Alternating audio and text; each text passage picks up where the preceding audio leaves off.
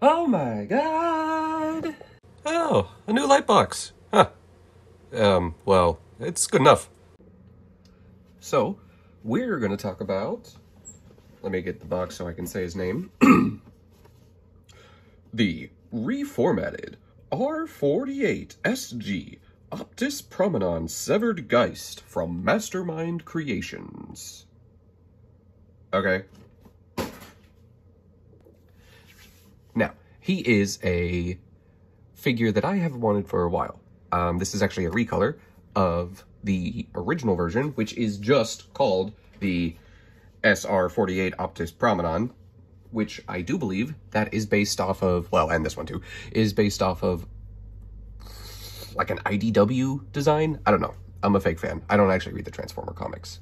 I do know that this color scheme is from the Shattered Glass dimension. Um, what the fuck is Shattered Glass, though? Well, it's Optimus, but evil. And his phrase is, till all are gone. Kind of cringe, actually. Uh, well, anyways. So he's a convention thing, I think?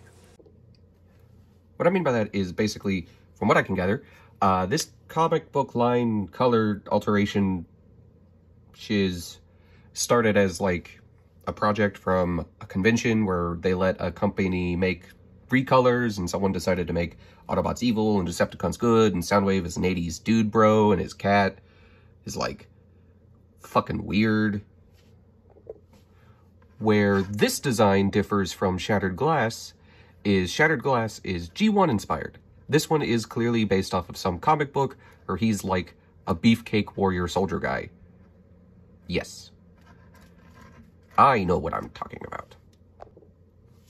So let's talk about accessories before we do anything else. Uh, move him to the side. I'm gonna break illusion for a second. So his accessories are from least impressive to most impressive is the instructions, a card with stats on the back. Mastermind's Creations cards are actually made out of like, what can I only describe as like credit card material? Um, a baggie full of stuff, which we will get to, and a cape. And the reason why this is most interesting is because it's resealable. Keep the cape fresh, I suppose. So, his first accessories that he comes with are two of these little blasters. They're actually supposed to be on his arms. I have just left them off because in the box, he came with them off. They go on that side and that side. He also comes with a gun. In fact, he comes with two guns.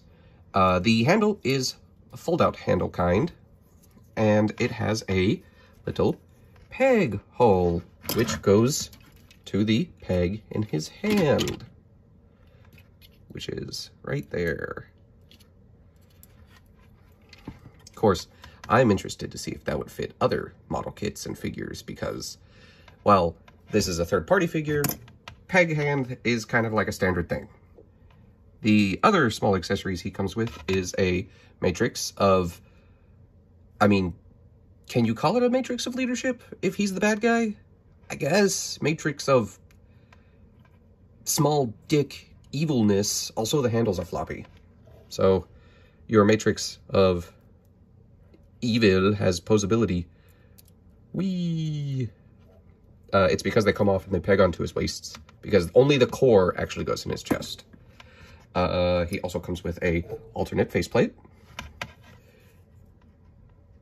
This one is maskless compared to his masked face. And he comes with an entirely separate head in a different color scheme. That's because this head is actually for uh, Optus Prominon, the original version of this. His last accessory is a giant axe.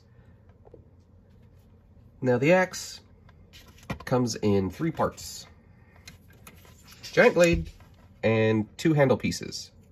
Um, I am not the smartest man in the world, and I thought this and this is how it would work at first. And I thought, like, okay, so it's just this tiny little thing.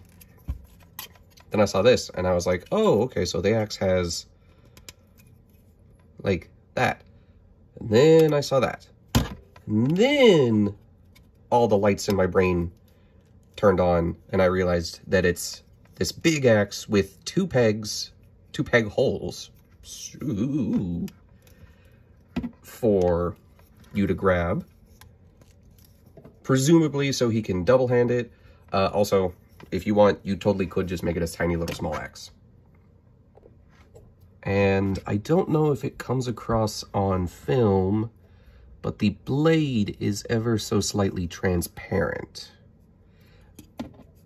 Uh, because this is supposed to be an Energon axe, so the silver part is metal, and then the purple part is energy. So when you swing it through the air, you should be playing with it, going mirror, mirror, mirror, mirror, mirror, mirror, boop, boop, boop, boop, and then it didn't cut through him because it's plastic. Well, anyways, on to how to install his accessories.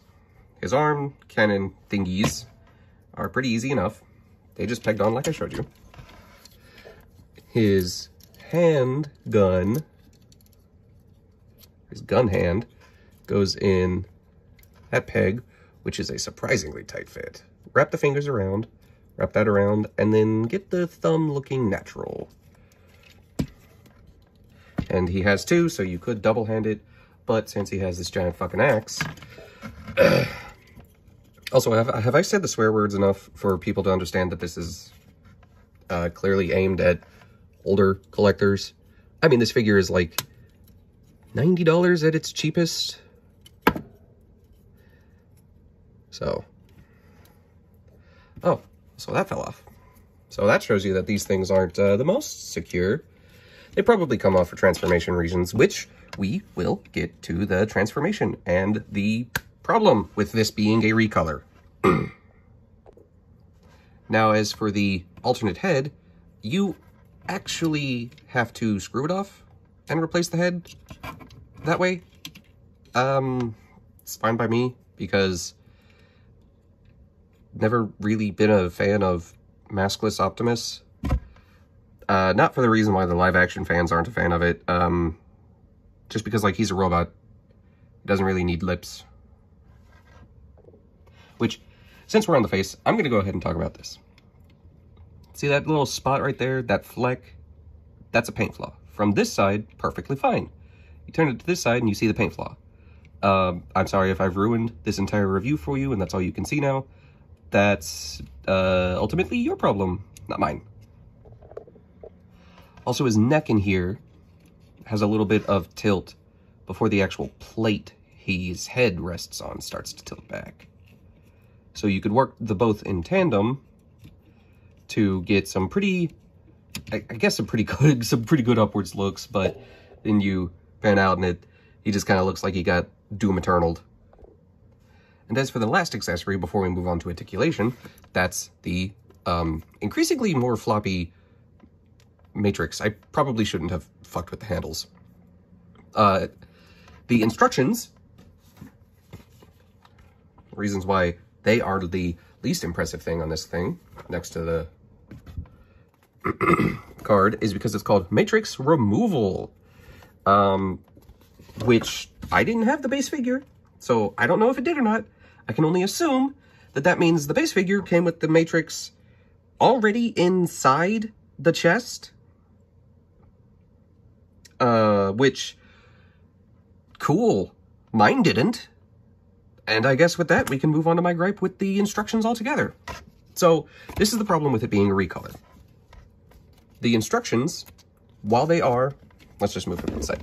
The instructions, while they are nice on good paper, and they even included a nice content that shows his fabric cloak, his PVC scarf, his two laser beam shooters, his core handles, his battle axe, three parts, and his ion blasters, and his alt head with a mouth place, and see there, oh, Optus Pexus, my bad. Actually, yeah, my bad. I'm pretty sure there's some people already complaining about that.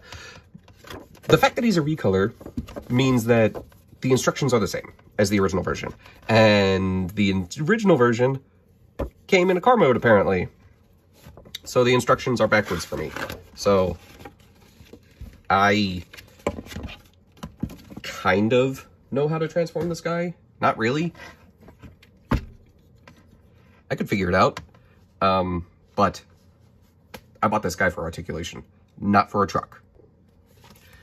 Uh, because, you know, every Optimus Prime is a truck in some form. However, let's try to figure out the matrix. So, step one is you come back here, you open these up,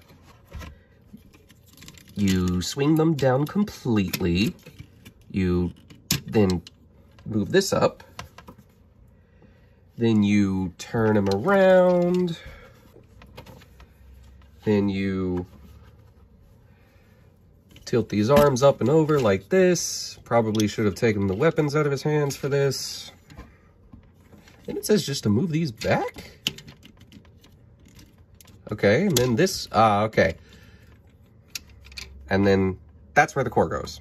You have to take it out of the thing and put the core in somehow. Uh, gonna do this off camera. There we go. His matrix of, I don't know, evil is inside of his chest now. So now we just plug that back together. We move these back up. Lower his arms back down. Spin him back around and then get this all pegged together. Which, in the box, this actually came not pegged together, came in like that position, and his head came pushed down. And I genuinely thought that I got a broken version.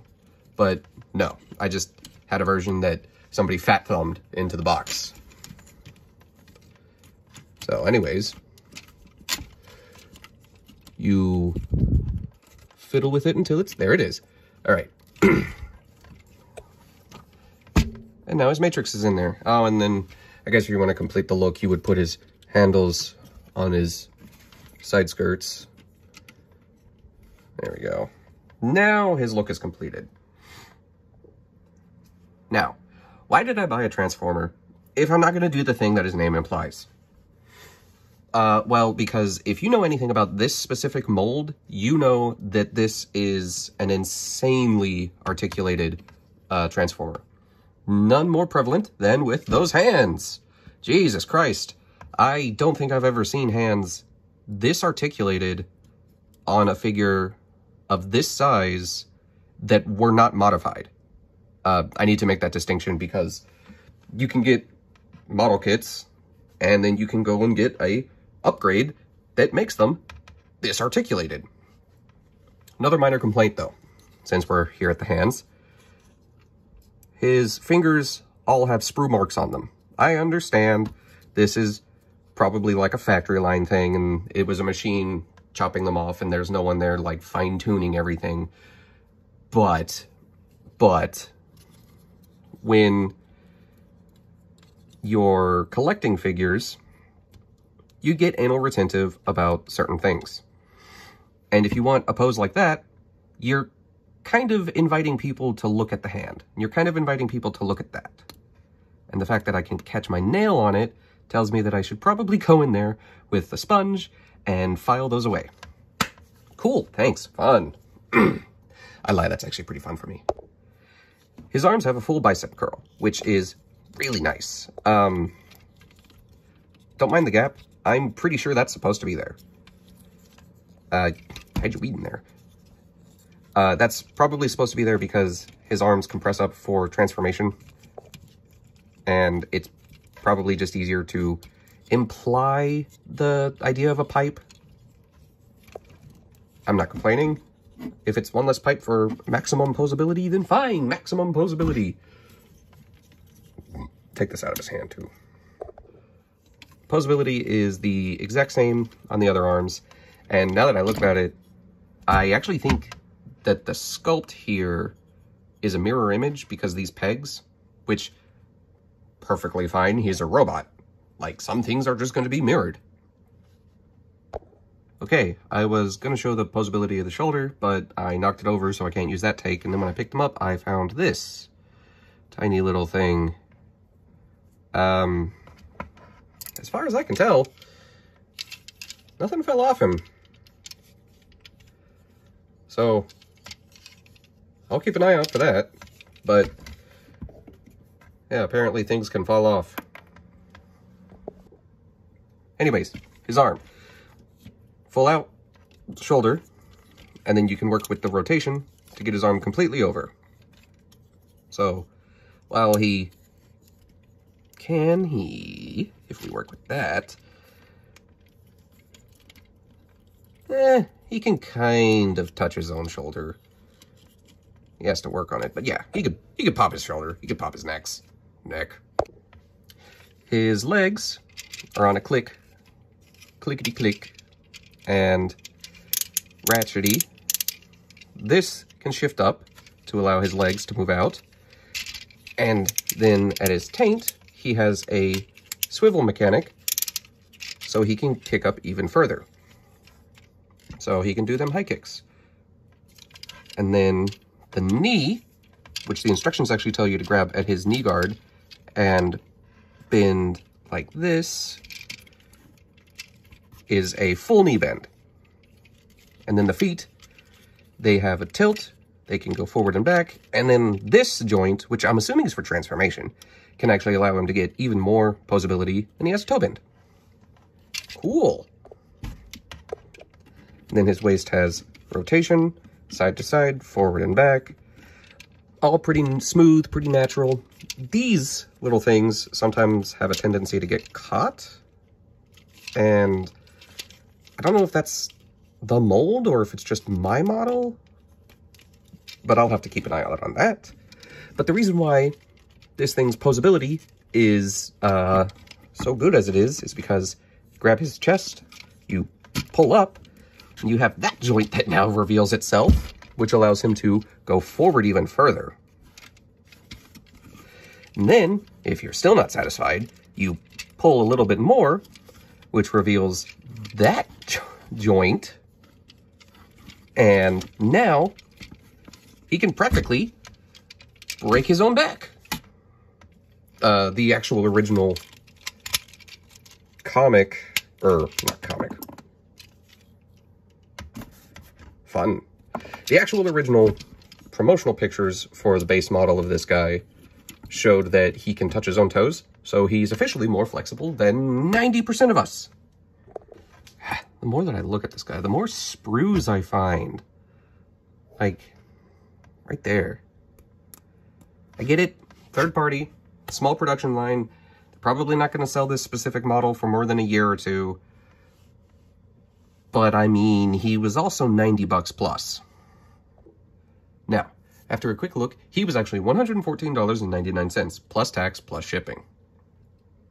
Perfectly fine, third-party company, smaller production line. They don't have the ability to just print money like Hasbro. However, this figure is from 1000 Toys. Yes, it's official, but they also work in a similar manner. Limited runtime, not as long uh, availability. They don't have widespread reach like they do. Uh, this figure, however, is $160, I do believe. I got him on sale for 112, so I wouldn't be able to tell you. Now, while he is an official Master Chief, John Halo, let's say the more you play with this guy, the more you found little tiny imperfections. The more you found like a weird inconspicuous spot on his faceplate. The more you found sprues on his hands or on the barrel of his gun or something like that. To most people, that probably wouldn't mean much. But if you're a perfectionist or you're just screwed in the brain and you notice small details, that gets under your skin, gets under my skin. Ultimately, I'm being mean to this figure because I love it. I genuinely like this figure a lot. Um, it's so, so goddamn close to just perfect. But all those all those small little imperfections is what makes it not perfect for me. Uh, anyways, size. How big is this guy? Well, I don't have any other Masterpiece figures to compare him to, mostly because I never really liked a lot of G1 Designs heresy, I know. but here is a Star Wars Black Series uh, Palpaclean. And he is full head and shoulders and then some taller. Uh, so he is pretty big, but not the biggest. But if you're like me, you bought this guy not because he's in some perfect god tier scale. You bought him because he is just the most articulated son of a bitch. I mean, how many other Optimus Primes can just, like, gang signs? Actually, give me a minute, and I'll get this guy into a really dynamic pose to show you what I mean. Like this.